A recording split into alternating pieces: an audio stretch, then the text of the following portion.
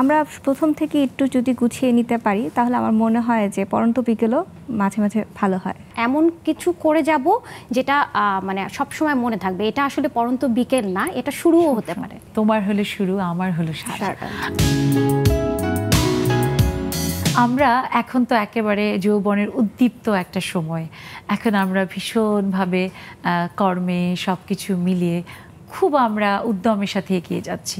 কিন্তু যখনই আমরা ভাবি যে এই সময়টি সেই সময়ের পরিক্রমায় শেষ হবে, আমরা জীবনের দিকে একটু একটু করে যাব, এগিয়ে এবং তখন সেই জীবনের পরন্ত বিকেল আসবে। এটা কি কখনো মনের ভিতরে এসেছে অলিভাপুর অবশ্যই এসেছে। সাধারণত আমরা দেখি যে আমরা যখন কাজ করি, তখন আসলে নিজেদের কাজের উদ্যমের মধ্যে হারিয়ে যাই। অনেক সময় আমাদের মাথা থেকে বাড়ি বার হয়ে যায় যে আমরা আসলে সেই সময়ের জন্য কি করব বা কি করব না। যেমন আমার বাবার ক্ষেত্রে আমরা একটা, যেমন আমরা কাজের মধ্যে থাকি, কাজের পরে আমরা রিটায়ারমেন্টে যাই, ওটা আমাদের জীবনের ক্ষেত্রে একটা পরন্ত জায়গা। তখন আবার নতুন করে সুন্দর করে সাজিয়ে গুছিয়ে নিতে হয়।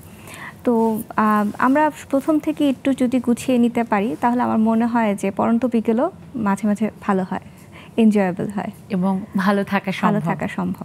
বাহ খুব চমৎকার। ভাবনাটা খুব দারুণ। একই প্রশ্ন যদি আমি মরিয়াপুকে করি। বিশেষ কোনো একটা সময়কে আমি পরন্ত বিকেল বা শেষ বেলা জীবনের ভাবছি না।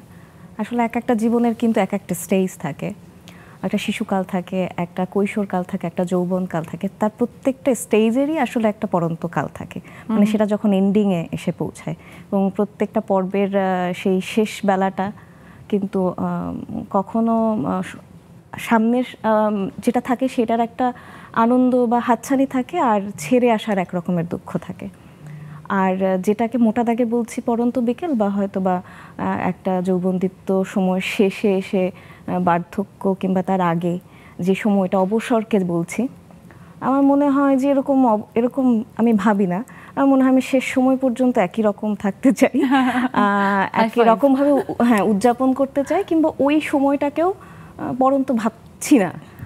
এরকম। বাহ এই ভাবনাটাও কিন্তু দারুণ যে নিজের সেই যে আসলে উদ্দীপনাময় সময় সেটাকেই সব সময় যাপন করতে চাও। দারুণ আপু খুব ভালো লাগল। জীবনের ভাবনার জায়গায় কি আসলে ফ্রিডা উন্মুক্ত? যে পরন্ত বিকেল সে তো আসবেই। হোক না তার আগের সময়টা উপভোগ করি। হ্যাঁ জীবনের শুরু যেখানে আছে সেখানে শেষ তো আছেই। বাট চড়াই উত্তরায় থাকবে এবং এই এর মধ্যে যেটা জীবন থেকে শেখা শেষ বললেও কিন্তু সবসময় শেষ হয় না কোনো কিছুর। মানে এটা আপনার কর্ম দিয়ে কাজ। সো আপনি প্রথম থেকে আপনার কি স্টেপ বাই স্টেপ কি কাজ করছেন আপনার চিন্তা ভাবনা সব কিছু আপনার একসাথে অ্যাকুমুলেট করে তারপরে হচ্ছে আপনার হচ্ছে মানে পরন্ত বিকেলের আপনার প্রিপারেশনটা কি সেটাই আসলে মেন।